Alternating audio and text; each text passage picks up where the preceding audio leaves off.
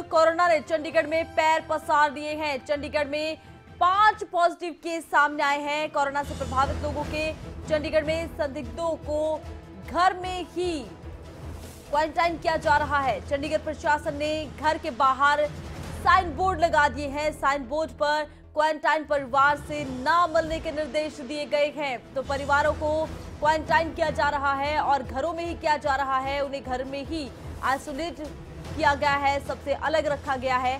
साथ ही उन घरों के बाहर बोर्ड लगाए गए हैं, लोगों को सूचित किया जा रहा है कि इन लोगों से ना मिले, इनसे दूर रहें।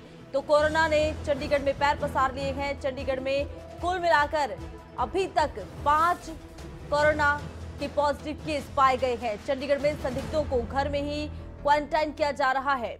घर के बाहर साइन बोर्ड लगाए जा रहे हैं। क्वारंटाइन परिवार से न मिलने के निर्देश दिए जा रहे हैं।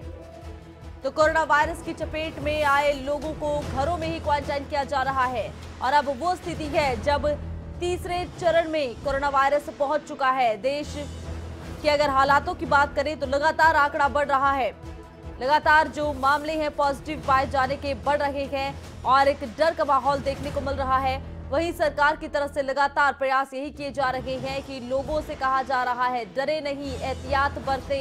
संक्रमण की बीमारी है, एक से दूसरे शख्स को फैल सकती है तो ऐसे में सचेत रहें।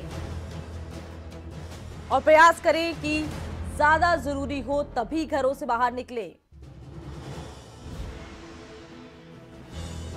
तो कोरोना ने चंडीगढ़ में पैर पसार लिए हैं। और चंडीगढ़ में संदिग्ध लोगों को घरों में ही क्वारंटाइन किया जा रहा है। चंडीगढ़ प्रशासन ने घरों के बाहर बोर्ड लगा दिए हैं। लोगों को सचेत किया जा रहा है कि क्वारंटाइन परिवारों से ना मिलें।